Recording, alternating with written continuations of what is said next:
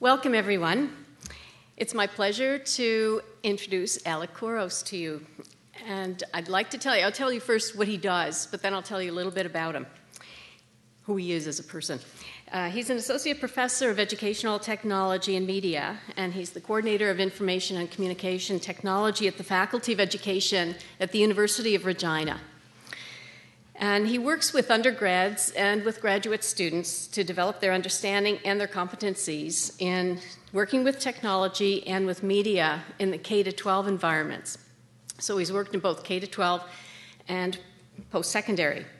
He's given hundreds of workshops and presentations, nationally and internationally, on topics such as what he's talking about today open education, social, networked, connected learning, instructional design, digital liter- uh, citizenship, and critical media literacy. But now, more about his, who he is. His, he has a philosophical approach to learning and sharing and knowledge building. And that approach is one of collaboration and openness. And he's an educator who walks the walk, who leads by the work that he does, um, and distributes what he's learning with all of his networks. He recently submitted an open CV for his tenured promotion file. So instead of the stack of binders that we would normally submit for tenure and promotion, he had it online. It was open for all to view. And it was successful too. Yay. he uh, shares his emergent thinking in his um, popular educational blog, Open Thinking. Alec uses his networks to explore educators. For instance, one of the things that a lot of people who use Ning are really concerned about now is that little line that's going across saying, We're starting to charge you in July. And uh, he sent out an invitation for comments and soon had a whole document from educators all over the world talking about Ning and charging and that whole lack of openness. So, Alec is engaging He's passionate and enthusiastic in what he does. He also has an 11 year old, 11 day old new addition to his family named Sophia, his third child. Yes. so, Alec's here to share some of his energy and commitment with us. So, please join me in giving a warm welcome to Dr. Alec Couros.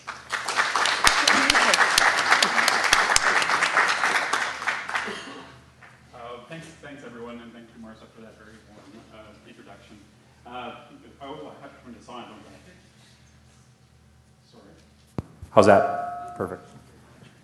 Sound level's good? Yep.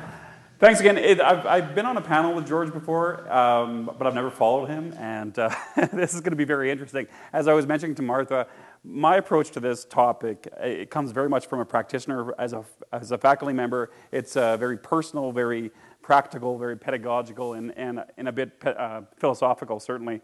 Um, I'm going to start with who I am, and, and very much of what I do is around digital identity. So, and I believe that very strongly that faculty members um, can project their digital identity to be very successful in one of those things that they do. And as Martha mentioned uh, earlier, putting out my open CV, one of the things that was really neat about that is uh, a professor from Virginia Commonwealth University um, created a document said, um, you know, how, how, he actually created a, a, sort of a survey that said, "What have you learned from Dr. Alec Couros?" And people from all over the world kind of, you know, put in little testimonials and that sort of thing, which I think was really kind of useful in a number of ways for, for my document going further and for me being successful in this. Um, what do we got here? Okay, anyway, my family there. Um, uh, obviously, I, I, as Martha was mentioning, uh, I do present quite a bit. I, I find myself as a, as a full time learner and a lifelong learner, certainly.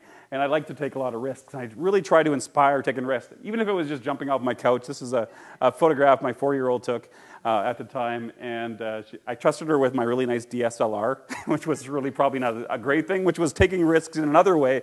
But this is also jumping off a, uh, jumping off a couch there.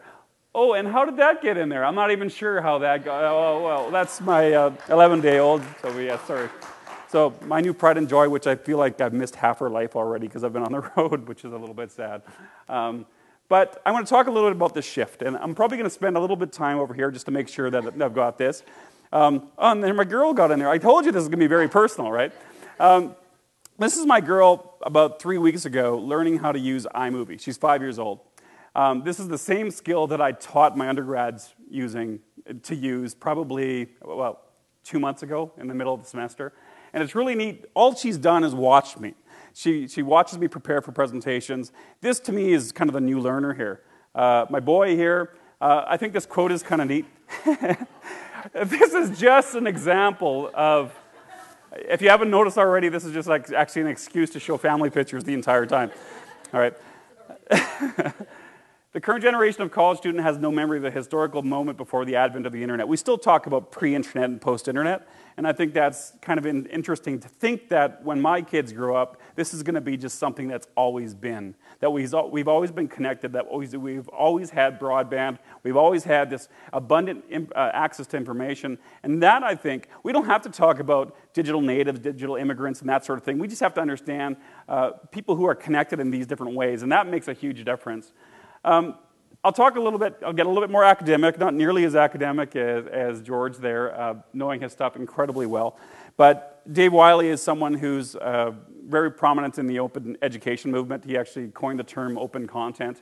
Uh, he kind of talks about this shift in reality. He talks about uh, then versus now, and the, and the key terms, and I think these are fairly easy to understand analog to digital. Obviously, digital brings a whole new realm uh, especially around scalability, uh, copyability, et cetera.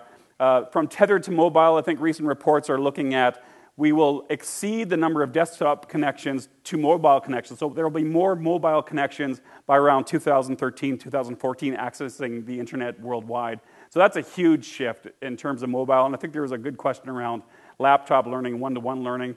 I'd probably be pushed that sort of thing uh, a bit further, perhaps not, as George said, in kindergarten uh, in that range, but there are certainly elementary students that could uh, benefit from one to one connectedness or one to four connectedness.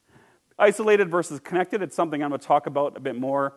The, the one big thing I think is, that I'll, I'll speak about a lot is the idea of the personal, which George touched, touched on quite a bit and how do we actually personalize education? So, that whole idea that we personalize learning, that the same type of learning activity that happens with every single student, this is something we've known for years, but for the first time, with the, the number of enablers that we have today, we can really personalize it in a different way.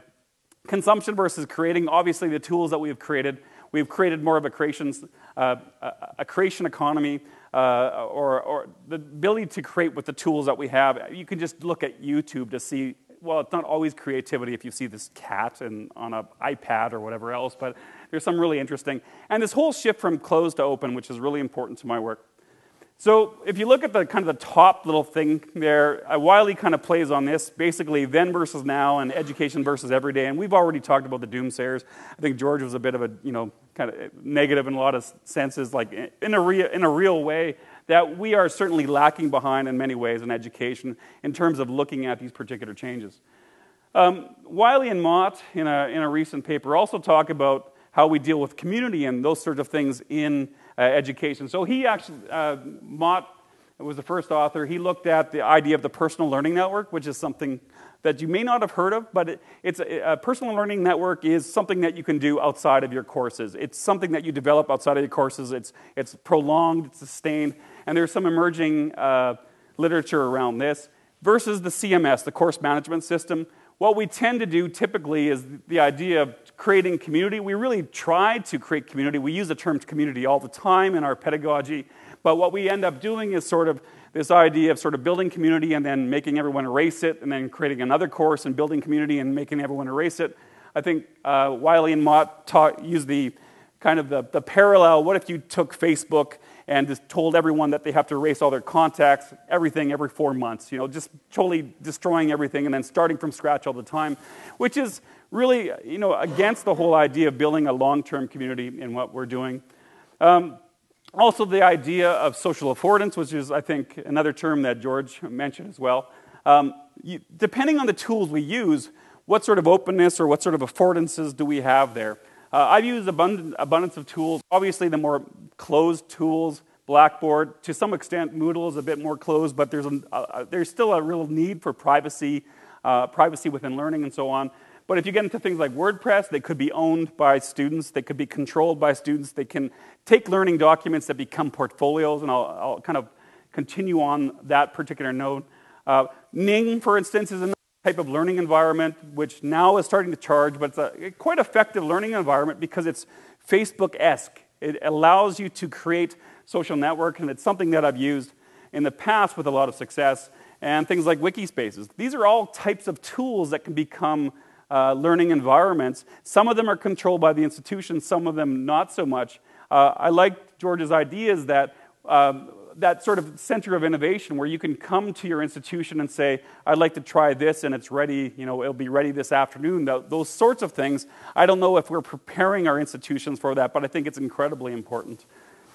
Uh, David Weinberger talks uh, uh, in the Cluetrain Manifesto, he talks about uh, the web is as a pure connection, free of the arbitrary constraints of matter, distance, and time. And this is very different than the university in a lot of ways. And so when we start to see the launch of, of personal learning, it becomes a whole different thing. And the constraints that we have within our institutions really in a number of ways. Um, this is sort of a call or a question from EDUCAUSE. How can we begin to move past an educational model that is tethered to time and place and move closer to learning that is immersive? And just say those words to yourself immersive, mobile, collaborative, and social. And I think those are really important trends in looking at how we can personalize learning. So I'm going to talk about this whole idea of personalization, and hopefully, hope, and hopefully by giving my own sort of examples of this, you can sort of look at your own examples and see why this is important as a learner. Um, one of the other trends, and one of the things I've been trying a lot, um, this is something I developed, just sort of a, an idea, a metaphor in my mind, something that I was able to put on paper um, or, or paper, or I guess digital paper, a screen, I guess. I, I don't actually ever use paper. Um, I should, should perhaps. Um, this whole idea of how do we take a digital citizen? So I work a lot with K 12 students, I, I work a lot with teachers. That's my primary role. And I think one of the things that we have to understand is how do we take what is a very closed set of uh, structures, a closed set of procedures, practice, etc., and move it to the open. Very much like when your daughter is 13 years old and decides to open up that Hotmail account and perhaps doesn't make the right choice. I get all of these undergraduate students that have email addresses like sexy14 at hotmail.com, and they, they, they, continue with those sort of things towards. Uh, you know, a professional portfolio, portfolio. It's right on their portfolio, or they send it to the prof, and we know there's an issue. But at 14 or at 13 or 12, when you're breaking the terms of service, you don't have a sense of what that means or what that may mean in the future. But there needs to be within the K 12 system, certainly, and certainly by the time that students enter the, the, the, university, uh, if that is the structure that will be in uh, 20 years or, or 10 years from now, that there needs to be this understanding, the addressing of the digital citizenship or digital identity of students. Um, so, helping students understand private versus public education, embracing more informal learning in our, in our teaching, in our university, and also understanding what it means to be closed, what it means to be open, and where this makes sense. Um, also, looking at the whole idea of new metaphors, this is just one I threw out. There's, there's hundreds of different metaphors we can look at. This is the idea of the network Sherpa. Um, I do believe that um, faculty members need to be much more media literate. I don't care if it means looking at YouTube videos all day, but getting a sense of what kids are doing needs to be part of what we do in a lot of ways. Not just the content itself, but what it actually does to our kids in that sense. Also, the idea of social networks, to participate in social networks uh, for personal reasons sometimes, whether it's Facebook or Twitter or those sorts of things, will lead us to places where we can also use these things in professional networks. I believe that has been very, very key for uh, many of the teachers I work with. And certainly, uh, and, and George in, in, his book and his whole, whole constructs around connectivism, the way that knowledge is changing uh, in this society is, is quite key to this. So I'll talk a little bit about the enablers, and George talked about a lot of these throughout but I think these are some of the key enablers. Uh, certainly, the, the plethora of free tools that we have available to us. This is just a screenshot of the tools that I use almost every day. There's perhaps a couple that I use every single day. Um, I don't know how many of those you use. I'm not saying these are uh, the ones we should use. Most of these are not supported by the institution. But these, as a, as a researcher, as a scholar, as a practitioner, these are the ones that I use almost single day. Whether it's WordPress for my blog, Flickr to upload photos, uh, Skype to communicate with colleagues across the world, uh, Facebook I even use mostly for personal reasons, but at least I'm connecting in a number of ways. It's, it's a place I can have conversations with um, that person I taught you know, 15 years ago in a school uh, with a faculty member, with the president of my institution, with uh, all of these different things, all in the same breath in some cases, which is really weird because we have this whole sense of these, uh, what Dana Boyd would call collapsed context, where we're speaking to everyone within the same, uh, in the same space. But all of these tools make a huge impact on what we can do, and understanding what, you know, the enablers, the affordances of these tools makes a big difference in our practice, or could. Uh, looking at one specific area itself, the idea of digital storytelling. This is Alan Levine. Uh, he, he's known on the web by Cog Dog. Um, really interesting fellow. He, he kind of went out and decided to take the idea of digital storytelling. So if I'm going to take one story, let's see how many tools will enable me to tell that story. Uh, so he's, he's, he, his initial idea was to take 50 tools and he ended up with like 80 or 90 or you know a huge list of tools so we have all these tools for the single ability to tell stories with yet we continue just to do nothing but essays and expressing our stories we are a storied culture but this is these are these huge uh, very impressive tools that are available to us and we can have our students tell stories in different ways and that's just one set of them uh, this i really like this is probably a month old or so um, this is a, a, guy by the name of Eric Whitacre. Uh, if you Google him, he's a composer. And what he did was basically put out a YouTube video. It was sort of a track that you could sing with. So he uh, put out the score of some music, he auditioned kind of singers and so on, and he put out this particular track where people could synchronize and sing into their webcams. So you see this. Is it going? In a second. I won't show you the whole clip, but we have audio? I'm not sure. Okay. All right. So people are looking at their webcams at this person and they're singing along. And so what he was able to do, I think there was 108 voices, 108 people who submitted their videos to this person, including the person who uh, he auditioned for the lead. And he creates this, which hopefully should work. There we go. Right? So he was, you know, through digital video editing, brings all of these people together which is really kind of neat and impressive. And actually, it's much more than that. It's like wild. It really is if you think about what we can do with the tools, with everyone submitting. And I think this is a really cool metaphor for what we can do when we collaborate and we use the affordances of these tools. This is something I think is just absolutely wonderful. If you watch it, they actually have the story of how this was done.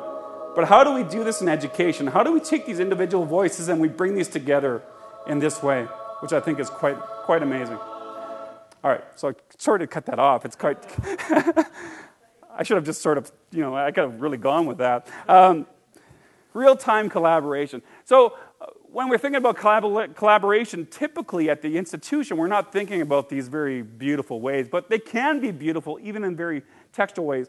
As Martha was mentioning, uh, mentioning before, um, there was a Ning again is a social network, and now they've decided as a company they're going to start charging. Educators like these things free, obviously, and it's actually only about two dollars and ninety five cents a month or something. I'm not I'm representative from Ning, but you know people got quite upset that they were charging at all because sometimes you don't even have that budget, uh, especially K twelve educators. Um, so, but a lot of people were grumbling about this, and so I put out a single tweet. So you know, there's, there's a number of people who follow me on Twitter, but there's a number of people, of these people who follow me, they're just not people who care about, you know, ham sandwiches and all those other things that we often associate with Twitter. They're people that are practitioners who have real problems, who are, um, I mean, real problems around education, who are administrators, etc. People who want to spend some time solving these problems. Now, it's difficult in my institution, not particularly my institution, but our institutions as, as general, to solve problems uh, even at a, you know, an academic staff meeting, for instance. It's difficult to get people together all at the same time. Um, but to do this with almost totally str- total strangers to solve problems, and this is sort of what it looked like. So there's Google Docs real time, which allows you, with a number of other people, to start solving problems together, which is really kind of cool. Real time collaboration, seeing the ideas of others transpire in, the front of, in front of you, and keeping track of all that stuff. It's almost as beautiful as that musical thing. I mean, to me, it is. To see ideas form, to see ideas negated, to see ideas expand. It's almost as beautiful as what we just saw just without the music. Maybe if you just run some beautiful Mozart in the background or something, it would be almost as beautiful. The act of creation is a beautiful thing. And I think when you have a number of people doing that, that's just incredible. So, another, you know, yes, yesterday I, I did the keynote at, or one of the keynotes at CNIE. And so at the beginning of it, I got my, uh, my presentation actually auto tweets. So when I hit a particular slide, it actually auto tweeted something so I didn't have to type it in. So, you know, because it's so hard to type in 140 characters. But when you're in the middle of a presentation, um, you want to do that. And then to think about, see if I've actually got my internet connection still, or maybe not. Uh, I can't show you the, the, map, but I think there were about 50 people. Basically, I put out a survey. Uh, at, the, at the very beginning, of my presentation, at the end, like it went to people around the world, and 50 people actually filled out this rather long survey about the favorite tools they could use, why social media is important in education.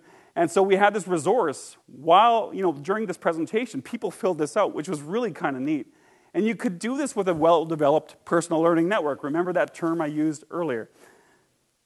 Um, so that was the first enabler, the free tools. Uh, and certainly that they work best with networks. Uh, the big other one, the other, one of the other big tools is the idea of free and open content. And you may have heard this uh, term, you may have heard it as open content, you may have heard open educational resources. Um, this was probably made very large, or uh, I, MIT wasn't the first uh, university that did this, but it was the first university that, big university that was big enough to make this sort of a real thing, that something that actually people noticed and so on. So if you look at the MIT Open Courseware project, most of you probably have heard of it before. You can look at all this content, full courses, totally available, totally free, et cetera. So a number of a big Ivy League uh, universities have followed suit. If you go to Stanford on iTunes, you can see, listen to full lectures. We've come to the point where content, there's so much content out there that becomes, let's just give it away. I think Charles Vest at Duke University, uh, sorry, at MIT, when he was the president when this actually happened, he said, the content is not what's important, it's the, the relationships we have in our residential experience. It was really important at that time to talk about relationships versus the content at our universities, which I think was kind of neat at the time. But of course, there's other ones, OER Commons, Connexions, etc. A lot of places where you can get this free content. Of course, the open web is the biggest one. Googling something and finding something that's copyleft, amazing resource, obviously.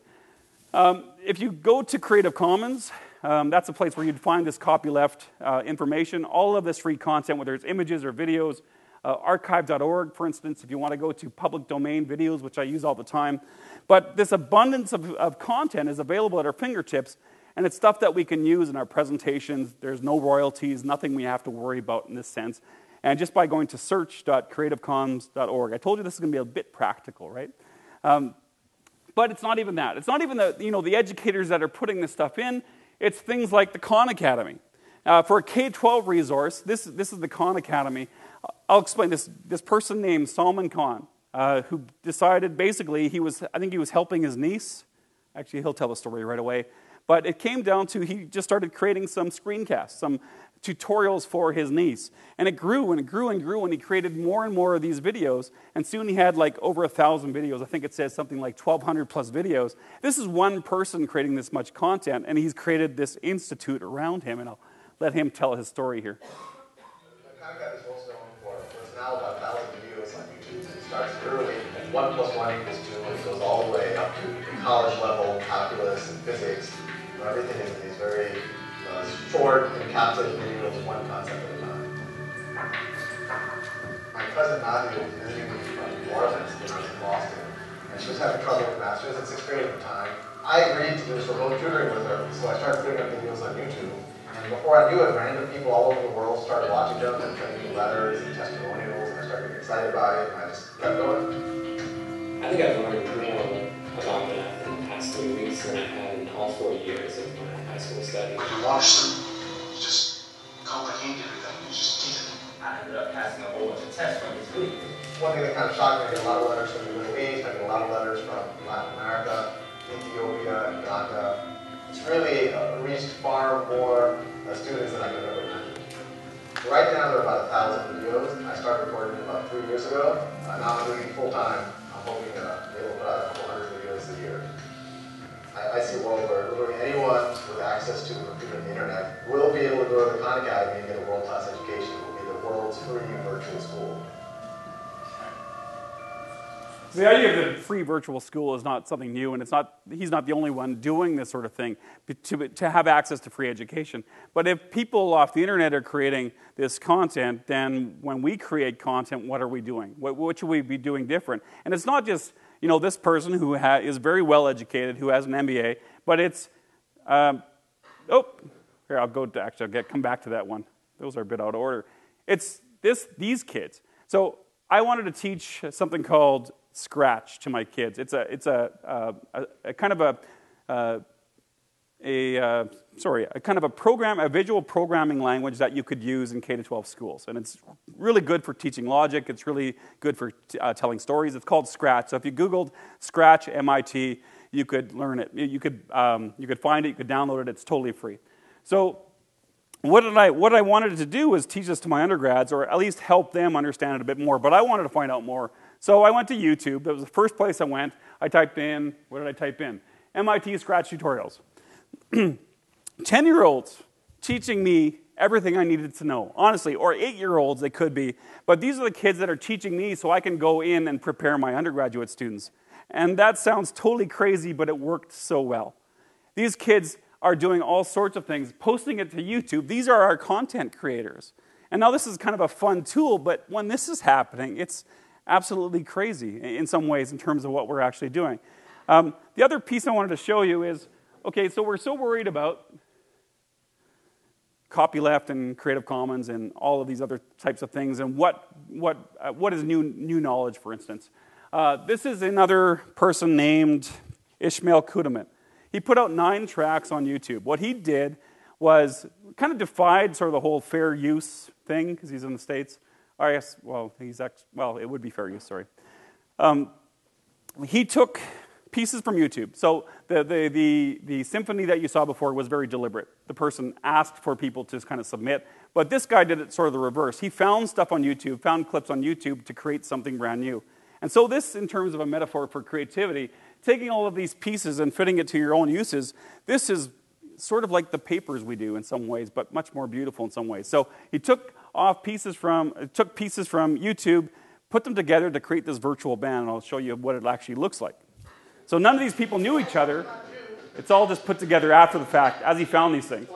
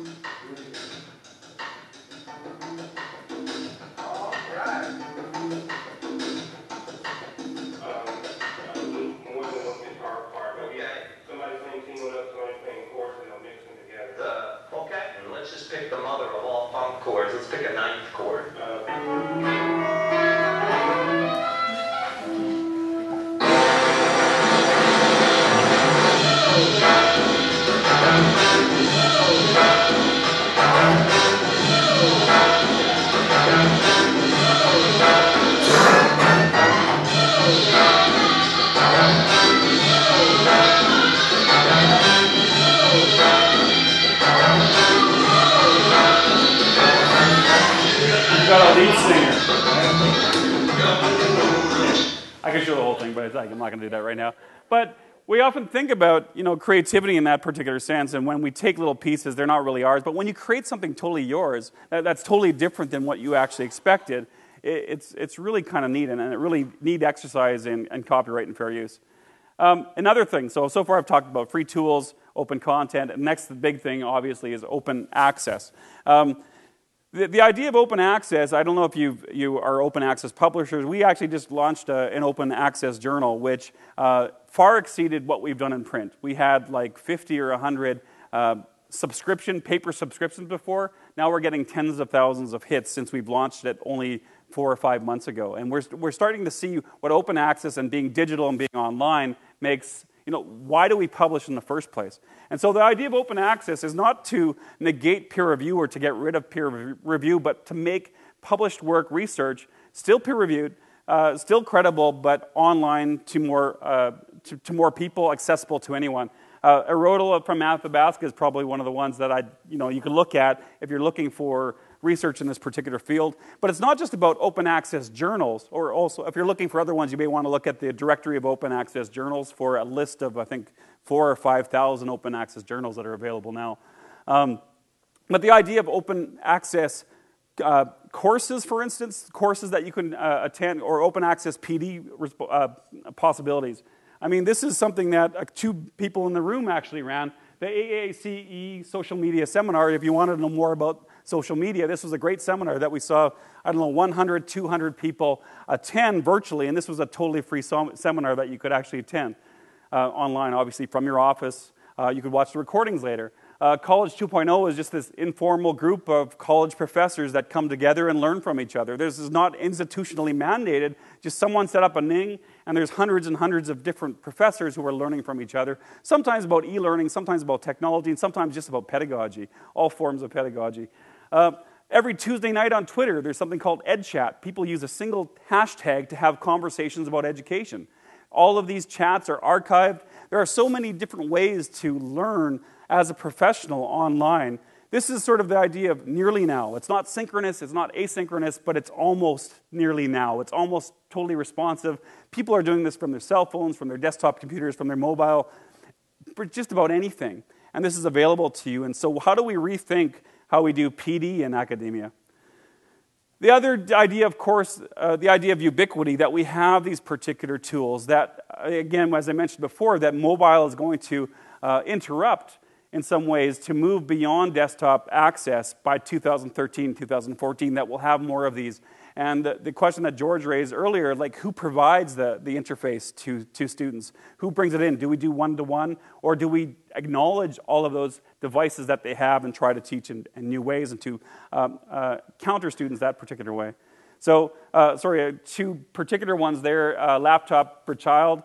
Uh, in Uruguay, there's, there's, something called the, o, the One Laptop Per Child Project, OLPC, which has been quite good in looking at developing nations in terms of uh, uh, one to one access. Uh, and recently, fast internet access becomes a legal right in Finland. Thinking about that and what we actually have access to uh, in Saskatchewan, I mean, we've been pushing that idea, but still in rural areas, we don't have fast internet access. And this needs to be a right for us, I believe.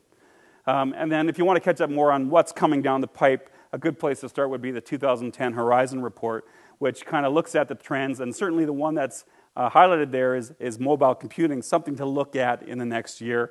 And then there are other ones you may want to look at. Uh, also, open content is one that's uh, is highlighted for the year, year ahead. But I want to talk about this personalization because you've got enough of my personalization. Well, you'll get a bit more here. But I think this is an incredibly important piece for all of this. Um, this sort of idea of the connected reality. Oh, sorry. I'm going to go back. Connected reality. This is a, this is a, a, a commercial from sprint, Palm Pre. And certainly it's got that, uh, that kind of tinge of technological determinism in it, certainly, if you watch it. But this is sort of where we're headed in some ways. Welcome to the Now Network. Population 49 million. Right now, 23 million cell phone calls are being made. 380,000 people just hung up. 1 million emails are in run. 7% of them contain the words Miracle Banana Diet. They're hitting 63,000 spam filters now. Twice as many people are searching the word dog Google versus cat. Jaime the talking boxer is being uploaded to YouTube from someone's phone now. Two million people are sending a text message during a business meeting. Most popular subject? Diapers. 233,000 people just Twittered on Twitter. 26% of viewing this have no idea what that means. 6,000 people were researching restaurants in a cab. 29 of them just left their phone in that same cab. 13,000 people just landed and are switching on their phones. This is what's happening now. America's most compatible 3G network, bringing you the first wireless 4G network. You don't need the advertising, but um, some quick stats. I'm not going to read those all to you, but the one, you know, you could look at one of those. Four billion images on Flickr. Those are often personal images, somewhat sometimes semi-professional, but a, a ton of those uh, that you can be using in the classroom are totally copyleft. Everything I put up is, is copyleft. Things that you can use in your presentations, most of those things that you see, this, the, the images in this particular uh, PowerPoint, you notice I use a lot of images, all from, from Flickr, almost, all, uh, almost exclusively. But looking at those stats, the stat I really like, YouTube is huge. 24 hours of video now uploaded every minute. Even if one hour of those is good. I mean, that's just an immense amount of information to think that every single minute, 24 hours of video is uploaded. And to think of how can this even be possible in some ways, it just absolutely blows your mind. Um, and of course, we continue in K 12 schools to, to block YouTube in, in, a lot of cases. I don't know what the policies are, but in a lot of cases, it becomes a bandwidth issue, it becomes a content issue. I think the worst part of YouTube, most people agree, is the comments. I mean, the, the worst part of society comes up in the comments in some cases. Um, but, it, but it's quite interesting. But the, the wealth of information, much of this stuff is very, very good. Um, so, sorry, a little bit. Uh, it doesn't show up the same on screen. Um, a little McLuhan-esque here. Every, each technology creates a new environment. The effects of media come from their form, not their content. And that kind of goes back to the idea that we often block content, but we're forgetting really the point of having the pipe in itself. That what's sometimes more, what's more important to us is actually understanding what the pipe does to us. Having that access to human knowledge versus the human knowledge itself, I think, is incredibly important to think about. Um, oops, sorry. Some of you may have seen this. Oh, I'm going to go back for a second. Kind of weird how it's showing up.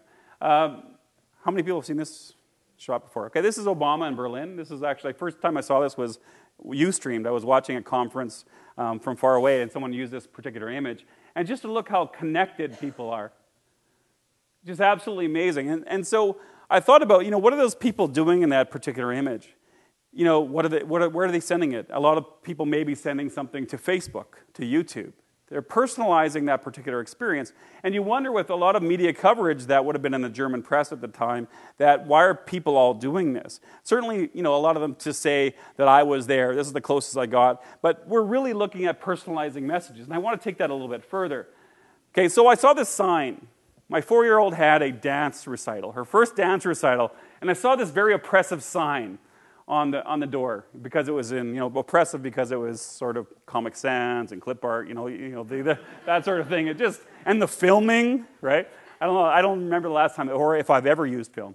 Um, filming of the dance performance is prohibited. Yet I still had this thing in my pocket, this little flip digital camera that you can buy for $168, 168 bucks. Had that with me, and I knew the spirit of uh, uh, of the sign. I know what they wanted me to do. They wanted me to buy the $60 DVD that they gouged me for.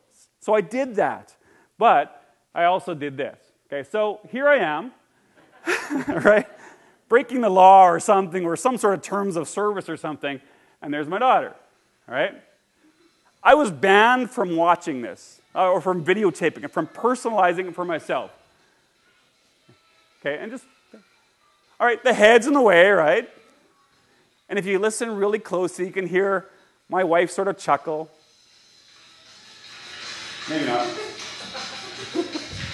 this is forbidden. We shouldn't be watching. It shouldn't have happened, right?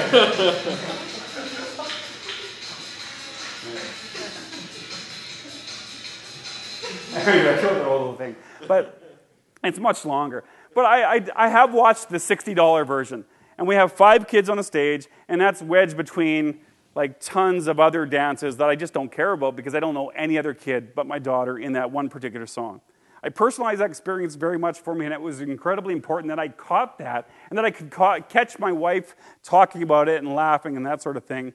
And that's why personalization to me is so important. That's my personalized reason for this, I guess, in some ways.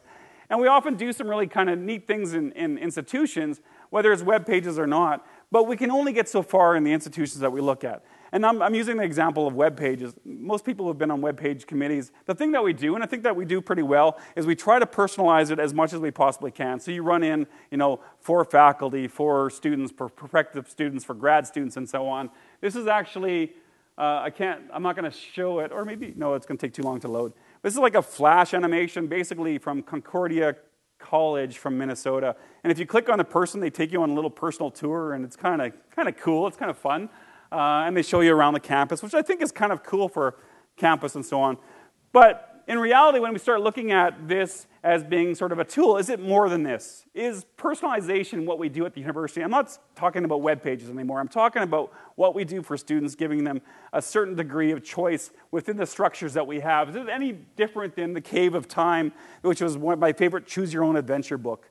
That I hated having only a finite numbers of choices. I still remember reading these and putting my fingers in uh, you know, I couldn't deal with having too many choices, right? And I wanted to see which of my choices were better, and they never seemed to make sense because they weren't like morally based or something. I don't know. I needed to have some sort of way of knowing what my next choice would be, and that really bothered me as a kid.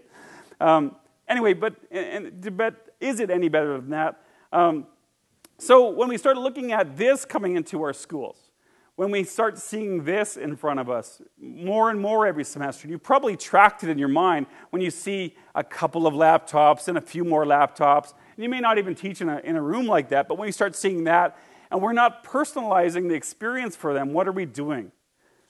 And, and that's really an important piece. If everyone in this room is doing exactly the same thing, just in, on a different machine, is that enough? And I think that's really important to start thinking about how we personalize the, the, uh, the, the um, the, the learning of others, and how we do that within an institution or outside of an institution. So, I want to talk a little bit about community, and that's a term that we use a lot. Um, I'm going to use a picture of uh, something very personal to me. Just back to this personal stuff. I told you it's just family pictures. That's all I'm doing. Um, this is my dad right here. So if it was Facebook right now, this is Pier 21, not too far from here.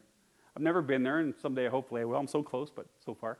Um, and someone wrote on that, unfortunately, in red pen. Um, but when I scanned it, it's still there. Um, to look at this and to think about social affordance again and to think about why this might be important. Today, we can, you know, if you put any photograph up on Flickr, kids attack it. Like if we took a section photo of, or a classroom photo or a course photo, and someone from a, a group on Facebook or, or, puts it up on Facebook, you see it just emerge. Like people basically put their tags and tag each other on, on it and so on. And this, of course, I could go and find out who else was on the boat and that sort of thing. This is actually taken from Pier 21 archives. I could find out who else was on the boat, but without that, all of these rich stories of who is who, my dad's actually on Facebook, and really on Facebook, I have this tag, and it links to him, and it shows who his kids are, and then you could follow, if there was some level of you know no, no privacy if i guess if, if there's a removal of privacy or if you're his friend you could follow and see uh, his children, and so on. And there's some rich stories told, but without these social affordances, we kind of miss out on that.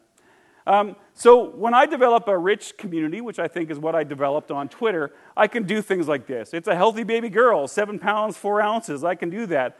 And then I can get a number of responses from people who I've built professional and personal relationships with in a number of ways. And some of you may feel uncomfortable with that sort of thing, those sorts of announcements, but that's understandable. Not everyone is as open in terms of this as others are.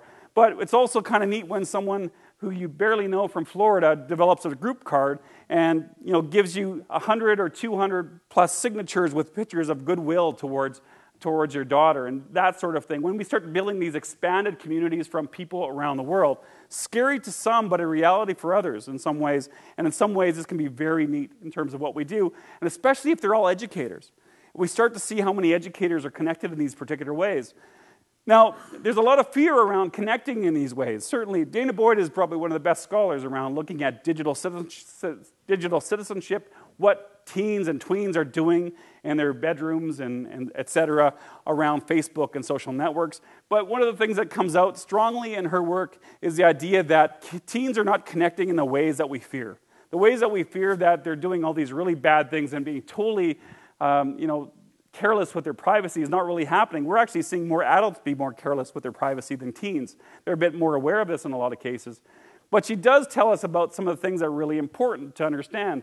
Properties like persistence. When you put something online, it's going to be there forever. If it's, it can be replicable, it can be searchable, it can be scalable, and you have to worry about being able to delocate your location when you tweet something, for instance, if you're worried about that information.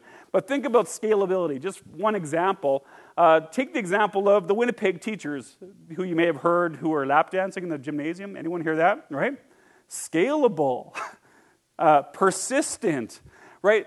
10 years ago, you would have not seen this grow as big as you can, but when you introduce YouTube, when you introduce that kid with the camera in the corner on, his, on her cell phone or uh, that sort of thing, that changes everything. These are the properties that we have to think about, but they're also great affordances. But we have to be worried about these things in the classroom. So, a good way of seeing this the student in your class can't show up, but they want to Ustream it from their phone to the student, you know, to, from a friend, et cetera. So you can actually Ustream it. This is being live streamed to a number of people. I don't know who's out there. All sorts of neat things around that. But that invisible audience piece is a bit interesting as well as a, as a professor. Uh, Michael Wesch also looks at uh, YouTube communities. If you haven't seen Michael Wesch's stuff, you really should. All over YouTube, he's got tons of keynotes and presentations that are really, really uh, accessible and very good, insightful, and so on. But he talks about uh, YouTube communities, the idea of connection without constraint, that we actually find very tremendously deep YouTube, uh, communities forming in YouTube. He uses examples like the free hugs guy. Have you ever seen free hugs? So the guy that, you know, the hippie guy that's holding the sign up and people come up and hug him, which is like, if you look at that, I saw a person in our university center where everyone eats and so on holding it up, and no one would go near this person. Like, it is a bit scary, but to get over that social convention that you would show affection to a total stranger is something that's kind of strange. Also, used the example of uh, MadV, a person who basically held his hand up to a webcam and typed, you know, basically wrote one world. And all these other people uh, did video kind of reactions and did what was really important to them. He compiled these together and made a very powerful video. And so this type of humanity actually exists on YouTube. I see the humanity in social networks that you'd never expect. Uh, I thought this was kind of neat. Uh, this was a, a plea from someone on a community called Reddit help fix the last picture of my mom. His mother died the night before that he posted this uh, from cancer. The last photo that he had was this and you can see the cannula, uh, and he wanted to remove that. So he's basically asking the network, is there a way that you can remove this? So people easily, you know, quick, quickly did that. There's a lot of Photoshop kind of geek people out there that can do this, and there was all sort of enhancements, and there's a number of copies made, which, I mean, okay, so that's, it's, it's really nice. Maybe that's not like a community thing, but what happened under that post was really cool. People talked about loss, people talked about cancer and, and people that they lost, and, and those sort of things. And reading that, just, you can kind of disregard some of all the really bad stuff that happens on YouTube when you start to see the humanity that comes out in an act like that. And it's really kind of cool. And I kind of almost like, it gets me emotional to see that sort of stuff. You can tell. Um, so in practice, and I'm showing you K 12 examples, and there's a reason I'm doing that. I can show you tons of uh, university examples, but I want you to see what, what teachers are doing every day. First of all, a lot of teachers that I'm teaching are really one of the first things I look at is the idea of building a professional and personal learning network, being the center of these tools, understanding the tools and the content exist, and making these, uh, you know, making these sort of connections because they'll be able to do this with their students in a number of ways. And that is a really kind of a neat, rich uh, learning environment. And I'm doing this with my graduate students so that they become adept in these network connections and understand that if I don't know the answers as a professor, I can, I can sort of send out the question to other experts around the world that I'm connected to or that they will be connected to. If they need to learn about Kansas for some reason, they can find a really good teacher in some classroom in Kansas and connect their students with them by making these safe and personal uh, connections. So I have a teacher 45 uh, minutes down the road, Kathy Cassidy. She's award winning, she's doing some amazing things. But what she does, if she wants to talk about rocks to her grade one, she brings in a geologist. So she has someone Skype in to talk about rocks. Or if her students are doing things like uh, hatching pheasant eggs, they put that up and they Ustream it out from their, from their world so the whole world can see the learning of these kids and how the kids document their learning. This is stuff we should be doing in university in some cases, like to open up what's happening in our classes. Um, grade five, I'm not going to actually show you the video, but I could. It's just, it's wonderful. These are grade five kids from public school, or yeah, public school 22, public school division 22 uh, in New York. Kids that would qualify for sort of a free lunch program. I mean, low socioeconomic, socioeconomic status. Um, you can find all of their work at ps22chorus.blogspot.com. Um, really kind of neat. I think last week they met with like Queen Latifah and had this really cool sing off. This particular song, which I won't show you, they're singing Landslide by Fleetwood Mac. Uh, Stevie Nicks actually watched the video, uh, made a response to them, and said, Will you come and sing with us in New York City with, with Fleetwood Mac just recently? I mean, these are the kind of experiences through network connections that kids are having. These are the exceptional experiences that a grade five group can have. And how are they, you know, they're going to be changed forever by these particular experiences. And we can provide these with our kids. Kids who do not have exceptional experiences, we can provide that with them. Um, you know, a, a, teacher I worked with this summer has a YouTube channel. It's something simple. You know, a lot of schools still ban YouTube.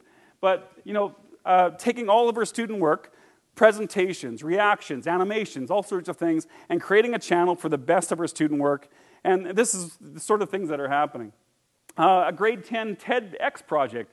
You know, don't have the right uh, textbooks, but you happen to have computers, or you want to have some up to date information. This is Christian Long from uh, Texas, who basically had, there's, I think, 640 ish TEDx talks, or there may be more, I may be off with the number. I think it actually says up there. But there's quite hundreds of different TEDx talks, which are really high level thinking talks.